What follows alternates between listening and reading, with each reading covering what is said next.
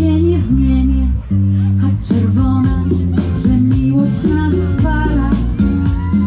Złota róża będzie natchnieniem i nadzieję nas wyzwala. Biała róża to obietnica, a czerwona to barwy radości. radości.